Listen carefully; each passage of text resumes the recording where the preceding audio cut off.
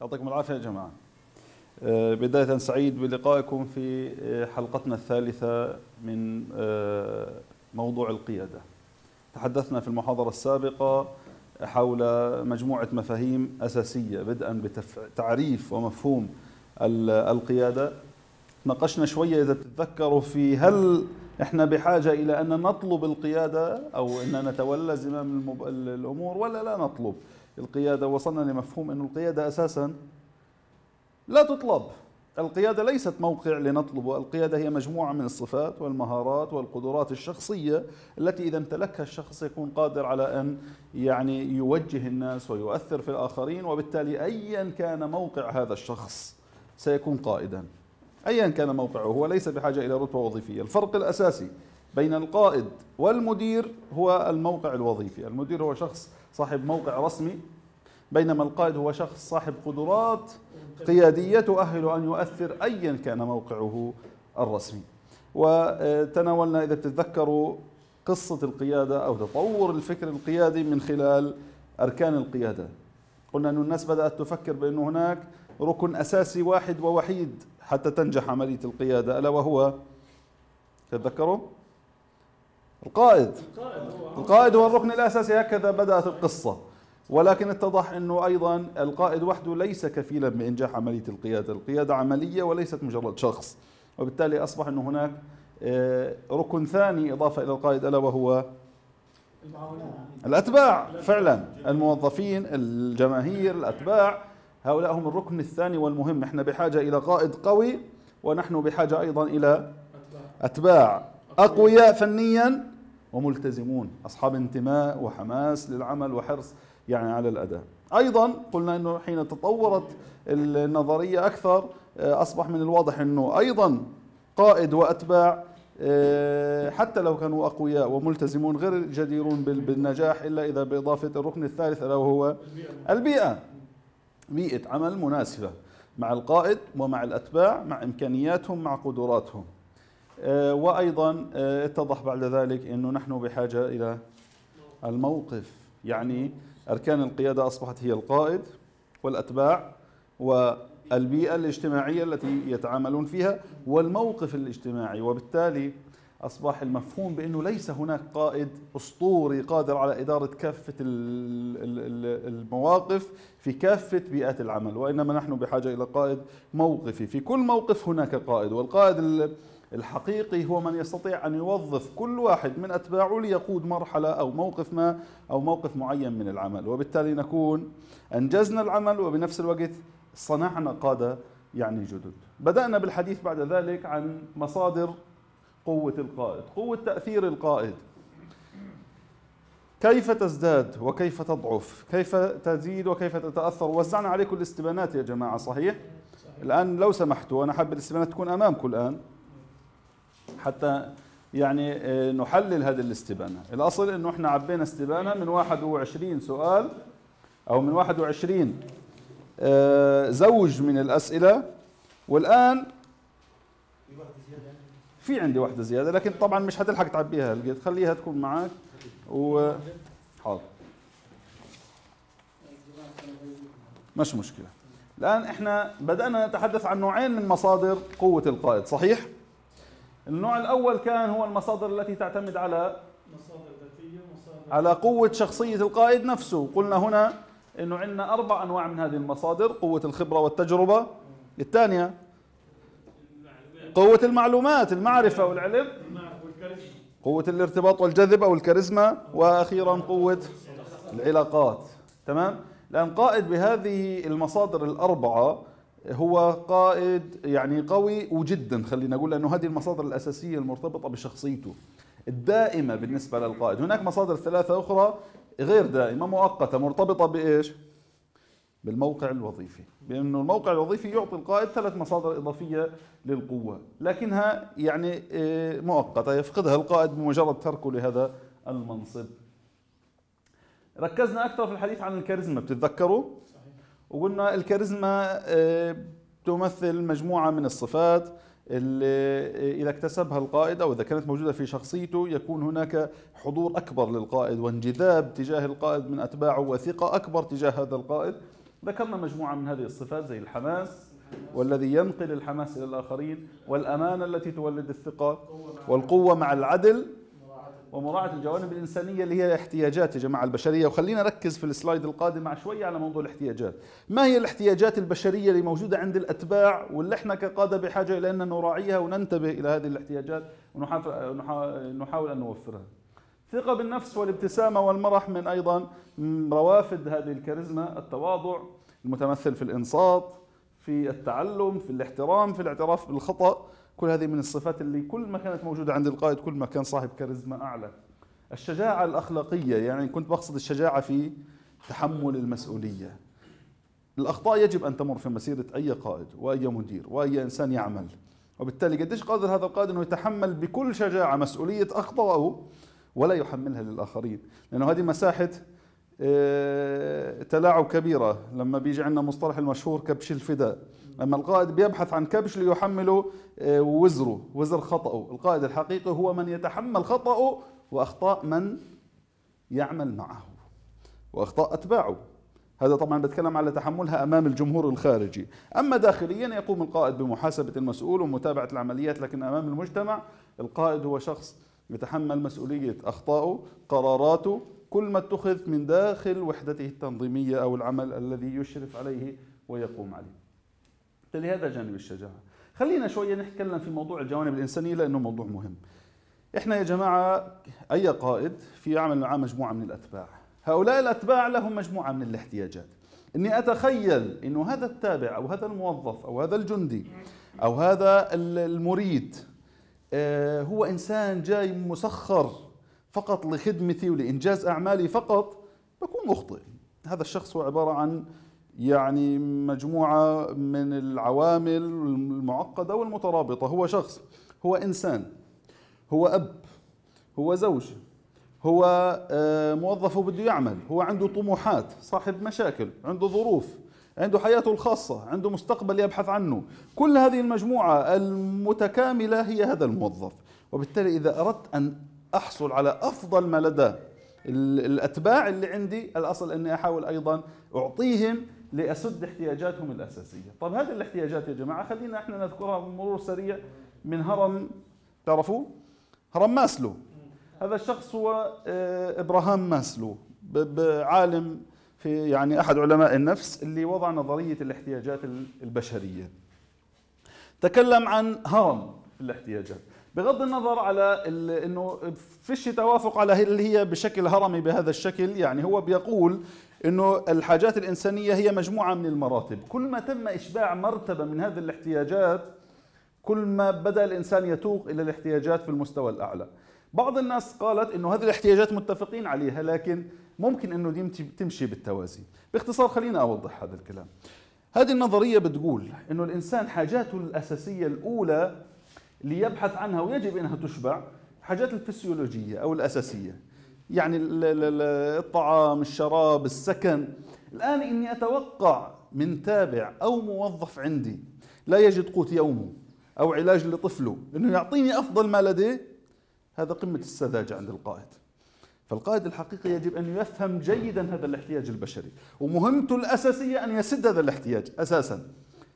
آه الآن إذا الإنسان أشبع هذه الاحتياجات بمعنى استطاع فعلا أنه يغطي احتياجاته الأساسية من مأكل ومشرب وسكن وعلاج لاطفاله وإلى اخره لنفسه والآخرين. يبدأ يبحث عن حاجات الأمان. حاجة إلى أن يكون مستقر أن يكون عايش في أمان. يا جماعة ليش واحد بيفكر أنه يصير لص مثلا؟ مع إنه إذا بده يصير لص وبده يسرق معناته بده يواجه فقدان الامان لأنه محتاج الاحتياجات الفسيولوجية وبالتالي صار بالنسبة له الأمان حاجة إيش مالها؟ لسه أيوه مش هي الأساس.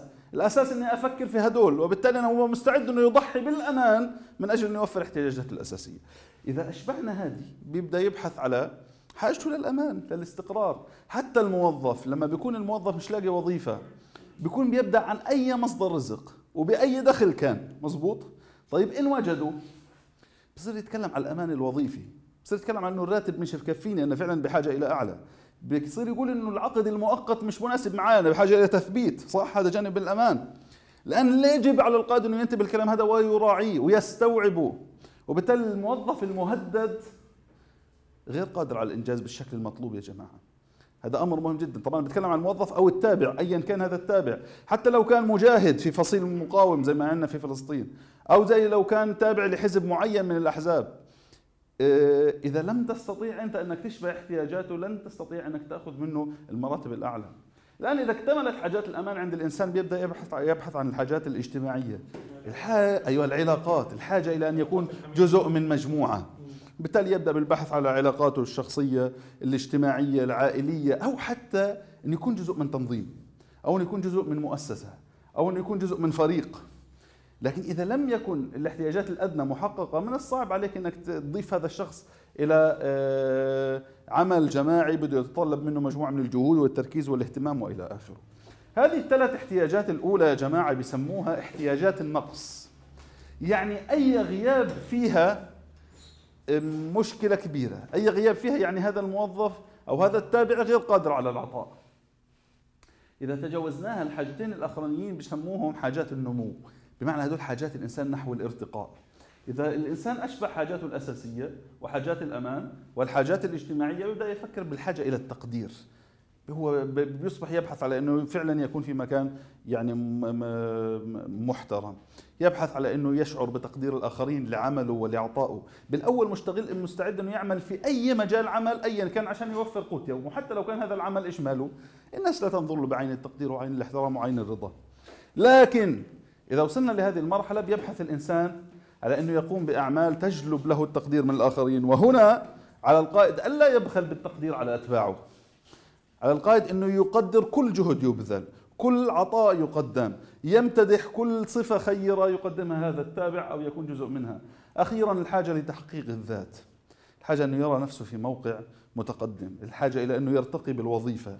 الحاجة إلى أنه يقدم في المجالس. الحاجة إلى يعني هذه حاجة متقدمة جدا يبحث على أن يجد نفسه أن يشعر باحترام الناس له وأن يجد وشعوره حتى باحترامه هو لنفسه وتقديره لنفسه ورضاه عما وصل إليه من مستوياته الاجتماعية والأسرية والمهنية حتى. بالتالي يا جماعة في ضوء فهمنا لهذه الاحتياجات بدنا نتعامل مع المرؤوسين مع الأتباع. ما بينفع أتعامل مع الأتباع عندي يا جماعة لأنه هم مك... يعني ماكينة. أو جهاز كمبيوتر بدي ادي له إنتر يعني يعمل. لما بدك تدي له الإنتر قد يكون هو في في ظروف آه، حياتية صعبة. لما بدك تدي له الإنتر قد يكون هو في مشكلة عائلية. تمام؟ بالتالي فبالتالي يعني هذا ما بينفع إنه إحنا نغفل عن هذه الجوانب وفقط نطالب هذا الشخص بالعمل والإنتاج دون ما إنه إحنا نوفر له شيء من من احتياجاته بالأحرى واحدة من التوجهات القيادية اللي بدأت تظهر في 1960 تقريبا حاجة سموها القيادة التبادلية القيادة مش معناته إنه أنت بدك إلا لك كقائد وما بدكش تعطيه اللي عليك، القيادة التبادلية هو إنه أنت بدك تأخذ منه إنجاز وعمل بدك تديله حقوق. هذه الحقوق هي عبارة عن تغطية هذه الاحتياجات. تمام؟ وبالتالي أكيد إنه يعني أتباع لسه الاحتياجات الأساسية مش موفرة عندهم. أهم إنجاز أو أهم ما تقدمه له هو أنك توفر هذه الاحتياجات. هو مش كتير مهتم بتقديرك عفوا. إذا هو فعليا مش لاقي قوت يومه. هو مش كتير مهتم بإنك أنت تعطي له آه تعلق اسمه في برواز في لوحة شرف. إذا هو فعليا مش لاقي إنه يداوي طفله أو إنه يكمل دراسته أو إنه يوفر احتياجات أساسية لبيته. بالتالي كل الأمور اللي فوق هذه الشرفية مش حيكون شاعر فيها ولا مهتم فيها. لكن شوف لما تلاقي انت أشبعت هذه الاحتياجات عند الموظف أو عند التابع حتبدأ تشعر إنه بدأ يميل لجوانب التقدير. بدأ بيكون مرتاح كثير لما يلاقي اسمه في لوحة شرف. بيكون سعيد لما أنت تذكر إنجازه وتطري عليه في واحد من الاجتماعات وتمدحه. بيكون سعيد جدا أنت تقدمه ليتحدث باسم المجموعة ولا باسم المؤسسة ولا باسم الحزب ولا باسم الحركة وإلى آخره. آه، ساعتها بيبحث على الارتقاء. لا تبخل على موظف عندك أو تابع أنه يترقى في مكان عمله إذا كان هو فعلا بيستحق وصاحب إنجاز وصاحب عمل حتى يشعر هذا الشخص بذاته وهذا هو تحقيق الذات. هذا باختصار يعني جوانب من الجوانب الأساسية اللي إذا استكملناها بنكون فعلا راعينا الجوانب الإنسانية لدى الأتباع وبالتالي حققنا جزء أساسي من متطلبات الكاريزما لدى القائد. هيك يا جماعة بنكون تحدثنا عن مصادر القوة المرتبطة بال بالشخصية اللي هي قوة الخبرة والتجربة قوة المعلومات قوة الكاريزما وقوة العلاقات. ننتقل سريعا نتحدث على المصادر المرتبطة بالموقع الوظيفي. شئنا أبينا الموقع الوظيفي يعطي صاحبه قوة. ووجودك في موقع غير رسمي معناته أنه أنت اكتسبت المصادر القوة الأساسية. المرتبطة بالشخصية لكنك تفقد ثلاث مصادر قوة برضو مهمة وأساسية. وجودك في الموقع الرسمي يعني أنه أنت تمتلك مجموعة مصادر قوة حتى لو كان عندك ضعف في بعض المصادر الذاتية تستطيع أنك تجبرها من خلال الموقع الوظيفي. وبالتالي مهمة جدا أنه إحنا ننتبه إلى مصادر قوة المرتبطة بالعمل الوظيفي وذكرنا أنه أولها قوة الشرعية. طبيعة البشر بمجرد أنه بشكل رسمي يكلف الإنسان بإدارة موقع معين في شيء من الانقياد والالتزام تجاه هذا الشخص. طبيعة البشر بهذا الشكل. إذا تم من خلال انتخابات فأصبح رئيس ولا رئيس مجلس إدارة ولا إلى آخره أو من خلال تعيين وتكليف بأمر رسمي واضح وكل الناس اطلعت عليه. بيكتسب جانب من قوة الشرعية. لدرجة أنه من بعض الحيل اللي بتستخدم أحيانا لإدارة بعض الاجتماعات وممكن أنه تحاولوا تستفيدوها لما القائد بيحاول أنه يكون دكتاتور بس بطريقة أنيقة لما القائد بيجتمع مع أتباعه للتشاور في قضية معينة بس هو فعليا في داخله مش جمعهم عشان يتشاور هو متخذ القرار بس هو بيحاول إنه يشعرهم انه هم شاركوا في هذا القرار. فبيروح في البداية بي يعني بيقدم لاجتماعه ومن ثم بيطرح إنه إحنا عندنا القضية الفلانية أو المشكلة الفلانية وإنه أنا أرى انه إحنا ممكن نواجه هذا الموقف بهذا الاقتراح ويعرض اقتراحه. مباشرة طالما القائد أو المدير عرض فكرته من البداية ستجد نص الموجودين في الاجتماع تقريبا مؤيدين للوهلة الأولى. النص الثاني جزء منه متشكك وقد تجد بعض المعارضين. لكن مباشرة شفت أنه قوة الشرعية أعطته أنه بمجرد ما أعطى رأيه بالأول فعلا هو شبه حسم النقاش في القضية. إذا فعلا كان القائد معني بأنه لا يسمع آراء الآخرين ويتشاور معهم الأصل يا جماعة أنه ما يطرح رأيه في البداية يترك رأيه للنهاية ويستمع للآخرين بعقل منفتح حتى لو لزم الأمر أنه يغير بعض القناعات والرأي اللي عنده. لكن إذا أراد أنه يمرر قرار معين فممكن أنه يعني يلجأ لهذه الحيلة ويطرح رأيه بهذه الطريقة. تفضل في في موقف في هذا الموضوع؟ آه، في موقف وفي ممكن تكون آه، ما هي لها لها يعني آه، مواقف. قصة إنه أنت تبدأ بالبداية إنه تقول نعم. رأيك نعم. وما بين إنه أنت آه، تنتظر الآخرين حتى إذا أنت كنت مثلا في ممكن تغير وتبدل. تمام. يعني بالعادة في الخبر الصحفي حتى آه، لما بيجوا بينزلوه فبينزلوا الخبر بناء بدهم يغدوا المجتمع يغدوا في رسالة معينة بدهم يوصلوها. وكمان لما بدك تسيطر على عقل أحدى مثلا ضيفك أنت ما بدك تقدم له قهوة ممكن تقول له تشرب شاي ولا تمام. تعطي له خيارات محدودة فتحصر بينها. فبكون فيها الحصر. هذه إحدى الطرق فطرحك لرأيك من البداية معناته إنه أنت حصرت تفكير الآخرين حوالين رأيك. حتى بعض الناس اللي بده يضيف إضافات لن تزيد كثيرا. هو ممكن بس يعني يضيف إضافات يعني سطحية فقط لهذا القرار. هذا كلام سليم. اذا يا جماعة الشرعية هي قوة. ووجودك في الموقع الرسمي بحد ذاته يعطي قوة يعني لا يمكن إغفالها المصدر الثاني من مصادر القوة المرتبطة بالموقع الوظيفي يا جماعة هي قوة التحفيز والمكافأة. قوة التحفيز والمكافأة. أنت كقائد معك صلاحيات أو كمدير في موقع معك صلاحيات أنك تكافئ. أنك تكافئ طبعا والتحفيز خلينا نقول بمفهوميه المعنوي والمادي والاثنين مهمين. لكن لا يغفل شيء على جانب شيء أحيانا بعض المؤسسات الربحية المؤسسات الدولية إلى آخره بتلاقي فيه اهتمام كبير في الجانب المادي بمعنى الجانب المالي. في بعض المؤسسات اللي قد تكون خدماتية تطوعية إلى آخره هتلاقي الاهتمام الأكبر بالجانب المعنوي. أنا خليني أقول إنه بدنا نحاول قدر الإمكان نزاوج بين الأسلوبين لأنهم الاثنين مهمين. ومن غير المنطق إن نظل نطلب من الناس إنه هي تعطي لمجرد يعني التطوع والمساهمة هذا الجانب المعنوي لكن مهم جدا فعلا نحاول ننتبه للرغبات المادية يعني شيئا ما. يعني خليني أسأل سؤال يعني إحنا دائما بنعتبر إنه أكثر الناس عندهم التحفيز موجود في مؤسساتهم وشركاتهم هم مين؟ الأجانب الشركات الربحية أكيد بالضبط الشركات الربحية وتخيل الأجانب على اعتبار إنه خلينا نقول ثقافة الاهتمام بالموارد البشرية عندهم عالية الآن خليني أسأل سؤال. هو هل الشركات الربحية ولا حتى الأجانب يعني هم عندهم قمة الإنسانية عشان هم مهتمين بموظفينهم لهذه الدرجة؟ طب إيش السبب في قم في هذا التحفيز الكبير اللي موجود عندهم؟ أكيد. هذا مردود يا جماعة كله مردود. خليني أعطيكم مثال بسيط. ذكروا أحد يعني اللي عملوا في شركات خارجية في في دولة أجنبية. بيقول كنا في شركة هذه الشركة لما الموظف عندها زوجته تحمل. فبالتالي دخل في مرحلة من آه المسؤولية والاهتمام يعني عنده ظروف نفسية وإلى آخره في مراعاة شديدة. بيروحوا بيعطوه في إذا دخلت في شهور الثلاثة الحمل الأخيرة يعني اللي بده قلقان ممكن في أي لحظة تتصل عليه وممكن إنه بده هذا بيروحوا بيعطوه آه، كان الآيباد مش مشهور زي أيام يعني الراجل بيتكلم عن فترة ماضية. كانوا بيعطوه له خصوصا جهازين جهاز بضل معها في البيت وجهاز عنده زي التابلت هي بتفتحه عندها هو بيفتح عنده عشان يضل هو وهو بشغله مطلع هو وياها شايفها هي راح على المطبخ هي إجت على هو مرتاح هيك بالبال شايفها قدامه مطمن. هو بيقول لي إذا الموظف كان مرتاح ومطمن في مكان عمله بده يشتغل بده يعطيني بس إذا كان قلقان مش حيعطيني.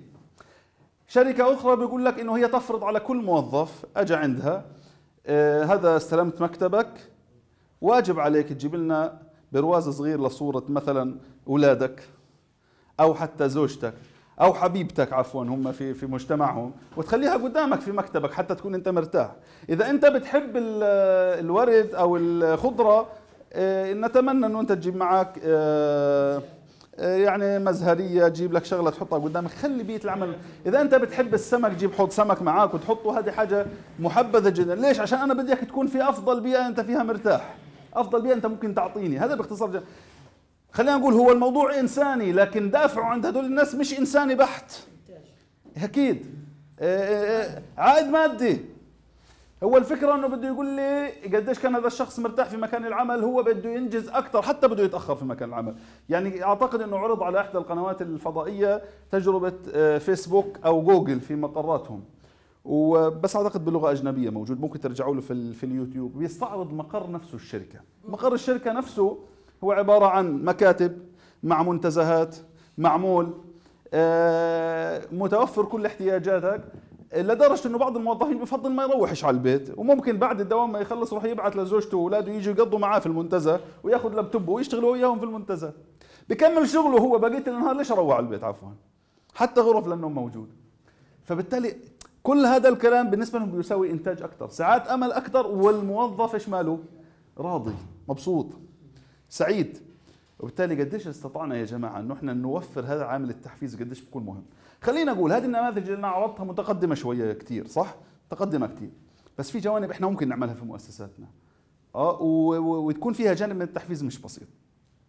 في واحد من النماذج قيل إنه واحدة من الشركات بس اللي بتشتغل لفترة طويلة بيشتغلوا الموظفين فيها لفترة طويلة. في عندها طبعا لازم يكون في فترة ساعة هذه للغداء وللراحة مش بس هيك. في فترة آه، بدنا نطلع من جو العمل. إذا اليوم في مباراة كرة قدم مشهورة ريال مدريد برشلونة كذا آه، في آه، ساعة ونص هدول وقف فيها عن العمل وفي شاشة كبيرة الكل بيقعد يتجمع عشان نحضر ونشجع مع بعض في هذا الجو الأخوي العائلي الصحبة إلى آخره. في يوم موظف عيد ميلاده عفوا فجأة بلاقي الناس كلها إيش ريحت الأمور ومعمول وقت بس عشان الاحتفال بعيد ميلاده وتقديم الهدايا وإلى آخره. جو يعني عائلي خلي الناس بتحاول إنه توجد. هذا جانب من حافز عند بعض المؤسسات ممكن تقدمه خلينا أقول كل اللي أنا حكيته أفكار الناس اجتهدت فوضعتها لكن الفكرة الرئيسية هي إيش؟ التحفيز. وأنت كقائد مطلوب تكون مبدع في إيجاد طرق التحفيز للموظفين للأتباع اللي عندك. بما يتناسب مع ظروفك مع موازنتك مع ظروفك مع ثقافتك مع تقاليدك مع كل ما يلزم. لكن بالآخر إني أقول الموظفين اللي بيتعبوا بيجتهدوا مش بس أحيانا في ناس مش موظفين يا جماعة. لسه كمان أنت بتتكلم عن أحزاب تتكلم عن حركات مقاومة. تتكلم عن ناس مش موظفين ولا بياخذوا أتعاب عفوا. وإنما بيقدموا وإحنا أحيانا بنشعر إنه هذا واجبهم مش مستأم هم لا يحتاجوا للتحفيز ولا إلى حتى إلى التقدير هذا واجبهم. مش هيك يا جماعة. إحنا كبشر بشكل عام نحتاج إلى التحفيز ونحتاج إلى الدعم المعنى وحتى النبي صلى الله عليه وسلم قال لا يشكر الله من لا يشكر الناس. صح. مطلوب إنه الإنسان قدم يعني مع يعني عمل شيء جيد إنه يكافئ يحفز يقدر هذا الجهد اللي بذله اذا يا جماعة موضوع التحفيز فعلا موضوع مهم موضوع ذو شجون ويمكن دائما بحاول إني أعطيه وزنه لأنه إحنا بنفتقده إحنا أكثر ناس عندنا قدرة على ان نعاقب بس ان نحفز. بنلاقيها صعبة علينا. بس ان نبهدل ان نعاقب ان, إن نعطي لفت نظر ان نخصم ان نسجل موقف. هذه آه، يعني حاجة متعودين عليها شوية مزبوط لكن نلاقي واحد لا قاعد بفكر فينا يعني تخيل آه، شركه بتفكر كيف بدها تفاجئ موظفينها. نظام فيسبوك يا جماعة معانا لو إحنا طبقناه مع أتباعنا بيكون حاجة ممتازة. فيسبوك بتلاقيها يوم عيد ميلادك عامله لك الكيكة تبعتك هيك وطلعها قدامك. يوم ما الدنيا شتاء بس بتقول لك دير بالك على حالك وانت وقعد لك في مكان هذا. فكر بالطريقة هذه يا جماعة. حلو جدا يوم شتاء تلاقي الموظف إنه بتصل له رسالة بتقول له اليوم معك مساحة إنك تتأخر وإذا الموضوع مش مش حنقدر نيجي ممكن إنه نحن نشتغل في البيت مثلا يعني. آه، شيء يعني جميل جدا لما نلاقي إنه تأخرت الرواتب زي حالتنا آه، في في البلد اللي إحنا فيها نروح نقول للموظف إمكانك إنك يعني ما تداومش لكن ممكن نتابع معك على هذا وتنجز بعض الشغلات من البيت. أو تيجي تداوم نص نهار مثلا ومسموح لك إنك تشتغل بعد الدوام. بعض القوانين تسمح إنه الموظف في الخدمة المدنية يعمل بعد الدوام أي عمل. مظبوط؟ طيب في ظروف أنا مش قادر أسد احتياج موظف الخدمة المدنية. أنا أساسا مش ملتزم بشروطي معه من حيث الراتب من حيث الحوافز إلى آخره. بقدر كمان أسمح له إنه يكون عنده مساحة من الحرية والحركة بحيث يلبي هو احتياجاته وما يلزمه. مهم جدا يا جماعة نخلي موضوع التحفيز حاضر في أذهاننا بأفضل شكل ممكن. أخيرا ولا نستطيع أن ننكره لكن خليه أخيرا. أنا حطيته أخيرا. قوة الإكراه والعقوبة. بإمكانك في معك صلاحيات كمدير كقائد إنك تعاقب. معك صلاحيات إنك تخصم من الراتب ومعك صلاحيات إنك تخصم من الإجازات ومعك صلاحيات إنك تعطي لفت نظر وانتباه بس معكش صلاحيات على فكرة؟ إنك تهين حدا. العقوبة لا تعني إنك تهين موظف. في جوانب الاحترام المتبادل فيها أساس. معك مجال إنك تخصم من الراتب. معك مجال إنك تعاقب بطريقة معينة لكن تقول والله إنك تتلفظ بألفاظ تجرح مشاعر الموظف؟ لا. هذا مش من صلاحيات المدير نهائيا مع إنه يعني كثير من الناس بتتصور إنه طالما أنا بعطي له الراتب معناته إنه هو المفترض يكون كأنه عبد عندي.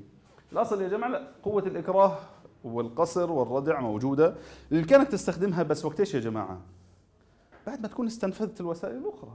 يعني موظف كسول قبل ما أفكر أعاقبه كويس أفكر أحفزه مزبوط وأشوف احتياجاته وأشوف ظروفه طب وجدت إنه بعد كل هذه المحاولات الرجل هو هيك هذه طبيعته. طبعا هذا قد يكون دليل على إنه برضه الاختيار لما اخترناه ووظفناه أو شغلناه أو جبناه كان الاختيار مش سليم.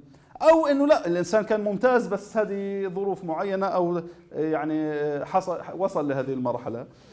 وارد إني أنا أتخذ العقوبة ك يعني وسيلة. طب هل العقوبة يا جماعة يعني بقدر أتخذ أي عقوبة كانت مثلا؟ في لوائح في نظم ومش بس في اللوائح حتى لوائح والنظم لما بدها توضع يا جماعة التدريج فيها عامل أساس. أيوه وفي تدريج. هذا مهم أنا بدي أركز في التدريج. ما بينفع آجي مع موظف فجأة لنا فاصلة. أه طبعا. أنا بتكلم عن تهديد ومش بس تهديد الموظف على فكرة تهديد لباقي الموظفين. صح؟ بالتالي في تدرج وفي عدالة. وحلو جدا لما بدك تعاقب حدا تكون تقدر توجد رأي عام في الشركة وفي المؤسسة كلها عنده قبول يعني الكل شاعر بالمشكلة اللي عاملها هذا الموظف وبالتالي وهم شاعرين بكل المحاولات لإصلاحه وبالتالي الآن الكل حيقول لك يعني خلص بتنبذ اللازم وبالتالي فيش مشكلة لو تم والله عقاب. الآن حتى العقاب يعني بعض الناس حطوا مثلا فن سموه فن التأنيب. تأنيب مجرد التأنيب بالكلمات وضعوا له فن موظف عندك له كان كويس له شهر شوية عنده تقصير ولا أسبوع ولا إلى آخره. بدك تجيبه على المكتب عندك عشان تأنبه. بدكش لسه تعمل له لفت نظر ولا أي حاجة تسجل في ملفه بس بدك توصل له رسالة بأنه هذا الأداء مش هو المطلوب. حتى هذه فيها فن. يعني بإمكانك تجيبه وتقول له عفوا أنت موظف كسول أدائك لا يرقى المستوى المطلوب. بالنسبة لزملائك أنت سيء جدا وإلى آخره. لكن آه هذا الأسلوب هل بالضروره حيحل المشكلة؟ الآن بدنا ننتبه على حاجة يا جماعة. أنت كقائد هدفك من التأنيب إنك تفش غلك؟ إنك تصلح صح؟ وبالتالي بدنا ننتبه لأسلوب يصلح. أنا ممكن يطلع من عندي من مكتبي متضايق جدا متوتر جدا بس أنا فعليا ما أخذتش حاجة صح؟ ممكن أكون فشيت غلي في اللحظة بس بعد شوية مش حيكون هذا ال ال ال ال الإنجاز المطلوب. التأنيب يا جماعة في له فن. بعض الناس راح تكلمت على أسلوب في التأنيب حلو سموه أسلوب الساندويتش. اللي هو أيوه بدي أحط حاجتين حلوين هيك بالأول وبالآخر وأحط الزبدة في النص بين. يعني هذا الموظف اللي بدي أقول له إنه أنت مقصر وكسول وأدائك كان سيء هذا الشهر بدي في البداية وأقول له أهلا وسهلا وبكل الاحترام إنه أنت فعلا كنت إضافة للشركة وسعدنا جدا بصحبتك وشفنا منك إنجازات كويسة في فترة ماضية بس وتفضل الآن. بس باحترام بدنا نقول له إنه أنت فعلا لو أنا بدي أتابع التقارير خلال الشهر الماضي كانت إنجاز كان مطلوب منك كذا وكذا وكذا ما أنجزته هو كذا فقط بينما كذا وكذا إلى آخره. وهذا العمل بالنسبة لنا كشركة صراحة غير مقبول. إحنا مطلوب توجه رسالة اللوم وبالطريقة المناسبة. لكن آه، بدك تحاول في الآخر تمتص الغضب. أنت معني بالنتيجة. وفي ختامها بدنا نقول له كمان يعني بكل الأحوال إحنا نأمل إنه هذا هي جلسة يعني مجرد عتب بسيط من إخوة من آه، ناس حريصين عليك وحريصين بنفس الوقت على العمل وعلى الإنجاز وإلى آخره وبننتظر منك كثير وأملنا فيك لا زال كبير. أنا وصلت الرسالة ولا ما وصلتها؟ ونفس الرسالة انحكت بالأول بس وصلتها مع وجبة من الاحترام والتقدير والاستعداد عند الشخص حتى أنه يتقبل ويتفهم خطأه. فإذا كان هذا يا جماعة اللي بدي أقوله في أبسط وسيلة من وسائل العقاب اللي هي يعني تنبيه شفوي ما ما عندك بالمكتب فما بالك لو بدي أصل للفصل لأخطر العقوبات. خلينا أقول يا جماعة بالنسبة للفصل بالذات هو خط أحمر فعلا مش سهل. مش سهل لأكثر من ناحية. للموظف نفسه اللي أنا تكفلت بإنه ما صار عندي في هذه الوظيفة إنه أنا أسد احتياجاته وأتابع ظروفه وكل التفاصيل اللي تكلمنا عنها قبل شوي في الاحتياجات فإني في لحظة أقول إنه هذا الموظف أنا بدي أرميه بالشارع هذه مشكلة. فيها جانب أخلاقي خلينا نقول ثاني حاجة بالنسبة لزملائه. الموظفين اللي بده يشعروا إنه ببساطة لأي خطأ لخلاف معين مع مدير معين أو كذا وارد إنه أنا أفقد وظيفتي. هذا الجو من عدم الأمان مشكلة. حتى لو سكتت الناس فهي بدها تصير موجودة في جو من عدم الأمان. وهنا صار أنا بدي أرجع لجدول الاحتياجات. بتذكروا؟ والمثلث الاحتياجات وأقول إنه حاجة الأمان صار فيها مشكلة. بالتالي في مش, مش بس هيك. الموظف هذا له أصدقاء جوا الشركة وفي له أصدقاء برا الشركة ويوم ما أنتم فصلتوا فيش موظف لما يطلع من الشركة ولا من المؤسسة ولا من الحزب ولا من الحركة بيطلع يقول أنا كنت غلطان فصلوني عشان أنا غلطان عفوا. بقول فصلوني لأن أنا مظلوم لأن أنا ما اشتغلتش زي ما بده المدير اللي بده يعني أشتغل غلط لأنه أنا ماليش واسطة صح؟ وبالتالي إذا هو سوق هذا الكلام كثير من الشركات يا جماعة بتهتم جدا بالصورة تبعتها. صورتها الذهنية عند الناس وعند المجتمع. المؤسسات المحترمة يا جماعة حريصة جدا ما تنمس هذه الصورة. فما بالك لو انمست من موظف عندها؟ بالنسبة للناس يعني هذا من جوات ال... هذا يعني لما تخيل لما يجي اليوم واحد في حزب معين لنفترض أي حزب ويقول لك ان أنا كنت في داخل الحزب وأنا عارف خباياه وعارف المصايب اللي فيه وأنا اليوم تركته عشان هذه المصايب. هو قد يكون تركه لأنه هو فعلا أخطأ ولأنه هو سيء ولا انه كذا لكن لما بينتقل هذه الصورة مش حتنقل بالطريقة هذه. لذلك في حاجة يمكن مش مشهورة كثير كلنا بنعرف إنه في مقابله توظيف صح؟ يعني واحد مؤسسة بدها تجيبه توظفه بتعمل له مقابله توظيف الحاجة اللي يمكن مش كلنا بنعرفها إنه في مقابلة فصل. في الموارد البشرية في حاجة اسمها مقابلة فصل. يعني الموظف لما بدي افصله ما بينفعش يا جماعة أفصل موظف على الجوال اتصل عليه أنت مفصول. ولا اكلف في المحاسبة اتصل عليه أقول له إنه أنت آه، خلصت من الشركة. مثلا يعني ما بينفعش نهائيا يا جماعة. أو حتى نبلغه بطريقة مثلا آه، مش سليمة. الأصل إنه هذا الموظف بده يجي للجنه واضح قدامها كل الحيثيات وكل التفاصيل وبأسلوب جيد. خلصنا عم جايين نبهدلوا هالقتا خلصنا. تحقيق تم ولا الإجراءات مشينا فيها بالتدريج؟ وبدنا نشعر قدر الإمكان نحن حاولنا قدر الإمكان نحافظ عليك حاولنا إنه ننتبه لخصوصياتك لظروفك لكذا لكذا لكن أنت ارتكبت كذا وكذا وكذا وكذا. وهي محاولاتنا كانت للإصلاح ولان نحافظ عليك وإلى اخره إحنا وصلنا لهذه النتيجة. ونتمنى إنه إحنا نحتفظ بشيء من الود والعلاقة وإلى اخره وكثير من الأحيان يا جماعة بتكون المؤسسات حريصة على إنه يعني يطلع راضي. يعني يطلع راضي على الأقل على القليلة لما يذكرني يذكرني بخير قدام الناس أو ما يذكرنيش. على الأقل. فهذا يعني جانب مهم. على فكرة صار جزء من هذا الكلام في لو بدنا ناخذ نموذج في آه، غزة شركة الاتصالات. في غزة وفي الضفة على ما أعتقد. شركة الاتصالات في مرحلة من المراحل آه، وطبعا شركة الاتصالات من النماذج تعتبر إداريا قوية يعني في في البلد بشكل عام. ف في بداية جيتها للبلد كان حاجة حاجة الموظفين كثير كبيرة فيش بنية تحتية للاتصالات. وبالتالي يعني استقطبوا عدد كبير من الموظفين. لأن بعد فترة خلصنا صرنا كل قديش ما بيجي اشتراك عفوا. قديش قد تعمل شركة اتصالات عروض عشان خاطر تعالوا ياخذوا اشتراك. خلص الناس مدت. إلا إذا كان يعني والله عائلة جديدة حدا تزوج جديد عمل خط نلقى عدد جديد لأن كل الموظفين اللي موجودين هدول الفنيين اللي كانوا بيطلعوا وبيركبوا بمدوا الخطوط صاروا فعلا عبء واداريا مش سليم اخلي ناس أنا قاعد بدفع لهم رواتب وبهدر مواردي وفعليا مش قادر أخذ منهم مخرج لأنه ما فيش الشغل. فصار التصرف فعلا الإداري السليم بقول هدول الناس لازم يطلعوا. لازم يتركوا الشركة. طب كيف بدهم يتركوا الشركة؟ أنت متخيل لما تيجي تمسك 500 موظف تقول الله يسهل عليكم؟ إحنا إذا بحكي عن موظف بنقول كل هذا التفكير بدنا نفكره قبل ما نفكر في فصله. فصار فعلا عملت هالشركة آه، نظام معين اتفقت مع هدول الموظفين على الخروج بس وهم راضيين. بمعنى في مبالغ مالية تعوضهم عن السنوات القادمة. اخذوا كل واحد منهم طبعا تم عندهم بيحتسبوا السنة 13 شهر وبالتالي في مكافأة وفي مكافأة نهاية خدمة وفي راتب ثلاث سنوات قادمة. آه خذوا اطلع ممكن تفتح فيه مشروع ممكن إنه يدبرك لفترة معينة بس بالآخر أنت تطلعش مالك مبسوط. إحنا هذه ظروفنا إحنا مش فاصلينك لأي سبب إلا إنه هذه الظروف وهذا اللي نقدر عليه. وهذا عرض 100% أحيانا بصير اختياري طالما إنه في مجال ناس يعني تطلب هذا العرض. وفي لكن لو لقى حالهم مضطرين على الأقل في مخرج أخلاقي يا جماعة. في شعور عند الموظف إنه الشركة فكرت فيا إنه الحزب فكر فيها مش فكر في مصالحه بس وبده يتريح من اللعبه وبس. لا حسب حسابي. هذا جانب مهم يا جماعة. فكر فيه. في كل أماكن العمل تبعتنا في المؤسسات في الشركات في الأحزاب في المساجد في العمل الدعوي الجهادي الحركي إلى كل النواحي اللي بنعمل فيها كشعب فلسطيني جميل جدا أن نفكر بهذه المبادئ لكن كيف بدنا نطبقها؟ الفصل حاجة يعني لا يصلها الإنسان إلا مكرها. على فكرة أحيانا بيعتبروا أنه فصل الموظف لا يتم إلا إذا كان وجوده سيسبب خلل يعني ضرر أكبر. يعني طالما حتى الموظف صار كسول آه، مش مأدي عمله كويس لكن مش مأثر على الجو العام في المكان مقبول بدنا نخليه بدنا نضل نحاول نستصلح فيه. وقت إيش بصير ممكن أفصله إذا بدأ يأثر على الآخرين. إذا بدأ يصير يعني عامل فساد بيعمل مؤامرات بيعمل بعض التهييج للموظفين بيفكر في شغلة بشيء بتضر الشركة أو حتى أو المؤسسة أو حتى بي يعني بيصل لمرحلة من استغلال موارد الشركة أو شغلة زيك أو المؤسسة. بالتالي صار إنه واضح الجانب الانساني يا جماعة قديش حاضر عند القائد. كم بعض الناس بتتكلم عن المدير وفعلا هذا جانب موجود. المدير مش مهمته كثير إنه يراعي الجوانب الإنسانية بس مطلوب منه شوية يركز عليها شوية بقدر المحتمل. بس طالما أنت قائد وبدك تكسب تكسب الناس كأتباع بدك تنتبه على الجوانب الإنسانية بشكل كبير جدا. تفضل أبو الله يعافيك. خليك تاخذ نفس يعني. فكار تفضل. يمكن أنا في شغلة يعني بنأكد على كلام اللي تفضلت فيه يا باشمهندس. آه، في كان موظف في أحد الجامعات. آه، وعقد.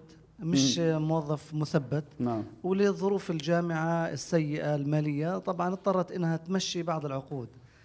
آه هذا الشخص يعني أنا متابع يعني هو صديق لي في في الفيسبوك.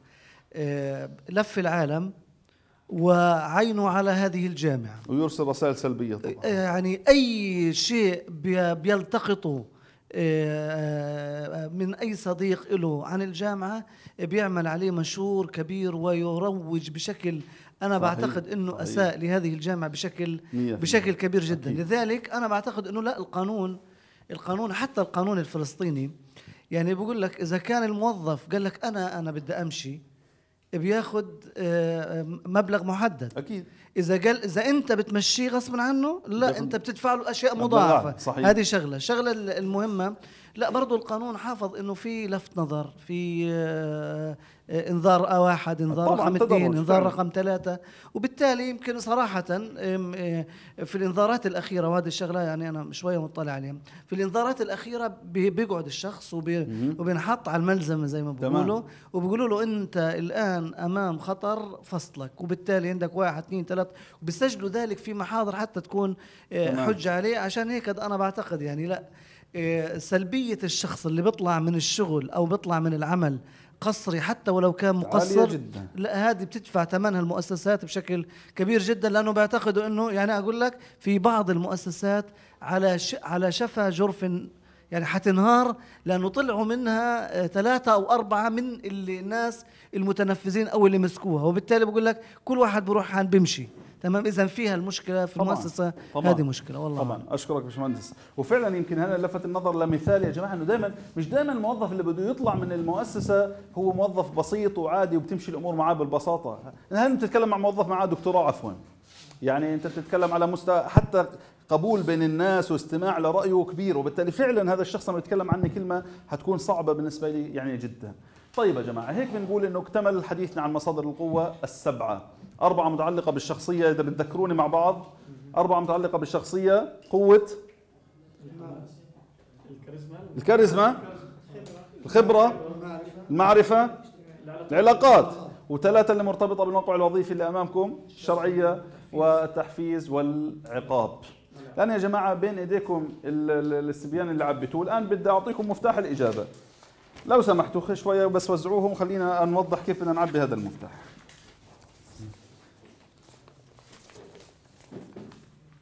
تفضلوا.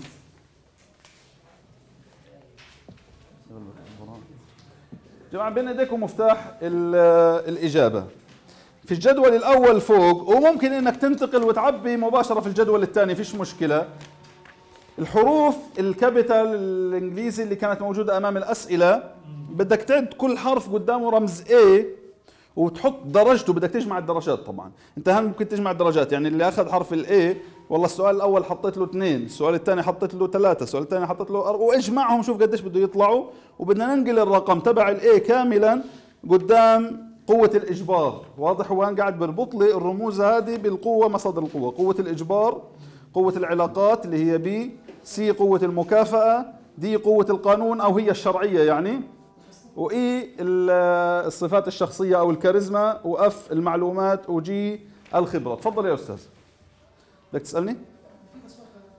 لا. آه أنت مش جاي. بدك تعيده كمان مرة؟ معناش وقت كثير يعني على فكرة. بس حاول بسرعة. يلا تفضلوا يا شباب. بدنا نعطيكم خمس دقائق. تحاولوا تنجزوا معنا في هذا الاختبار. وخلينا نشوف وين أكبر مصدر قوة من مصادر قوتك أنت شخصيا كقائد؟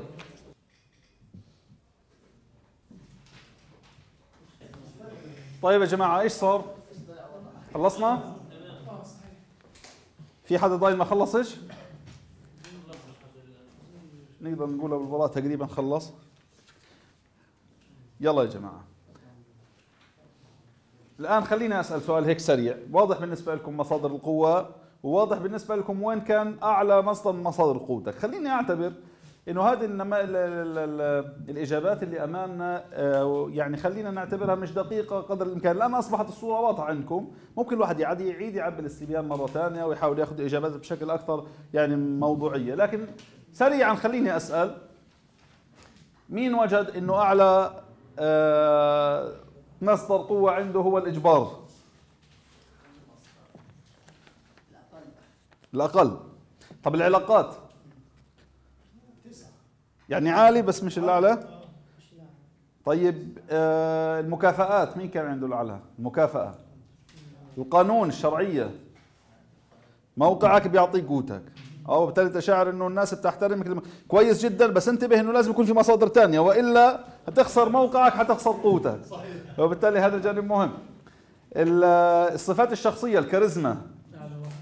عالية الكاريزما. جميل. هذا هذا جانب مهم. على فكرة في موضوع الكاريزما خليني يا جماعة أركز في شغلة مهمة. يا جماعة في موضوع الكاريزما هذا سلاح ذو حدين. الأستاذ هنا الكاريزما على حاجة عنده. هذه حاجة مميزة رائعة. بس أهم شغلة إيش؟ أنه يصاحب هذه الكاريزما فعلا خبرة ومعرفة. ليش يا جماعة؟ الكاريزما تبعتي أو الشكل العام قديش ممكن أنه يقنع الناس فيا؟ للوهلة الأولى. لما يقابلوني في البداية مع بداية احتكاكهم فيا. طب تخيل الموظفين ولا الأتباع اللي عندي حيعتادوا هذه الكاريزما حيبدوا ينتبهوا على المصادر الثانية صحيح؟ يعني نجد أنه قائد مثلا عنده قدرة رائعة على الخطابة والإلقاء والتأثير وإلى آخره بس لما يحتكوا الناس معاه بيشعروا أنه قدرته على إنه يضيف لهم أفكار جديدة إنه يحل معهم المشاكل فيها مشكلة.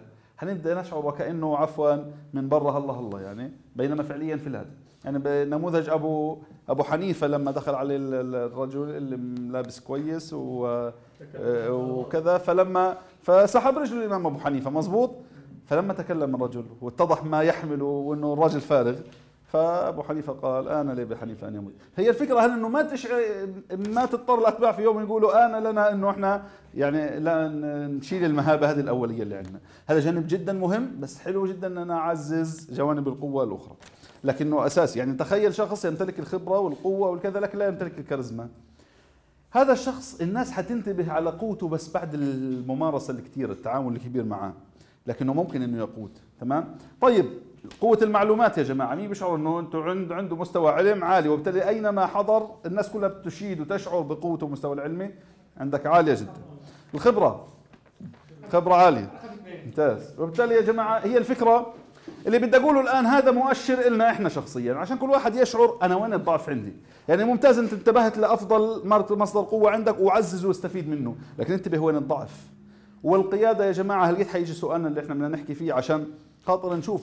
طب أنا بقدر أعزز الضعف؟ يعني أنا عفوا شخصيتي الكاريزما عندي طلعت ضعيفة. شوف بقدر أطورها؟ بقدر أصلح الكاريزما؟ الخبرة عندي قليلة بقدر أطورها؟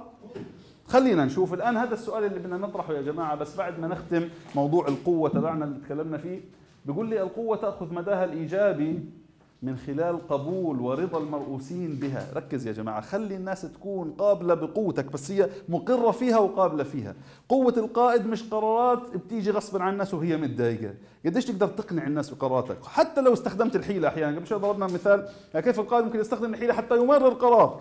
لكن اشعر الناس ان هم ساهموا معك في صنع هذا القرار. هذا جانب فعلا إنه كان تكون الناس راضية عن قوتك باعتبار أن من يمتلك القوة هو مدير قائد ويؤثر بايجابيه في السلوك العاملي الآن يا جماعة خلينا نتكلم في موضوع جديد لكنه مهم.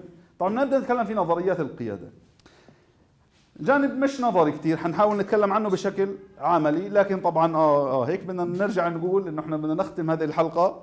بنهاية حديثنا عن قوة أو مصادر قوة القائد وفي حلقتنا القادمة سنتناول بشيء من التدرج والعملية نظريات القيادة وكيف تطورت حتى وصلنا إلى القيادة الموقفية وهي الأحدث واللي سنتحدث عنها بشيء من التفصيل في محاضرتنا التي تليها. يعطيكم العافية جميعا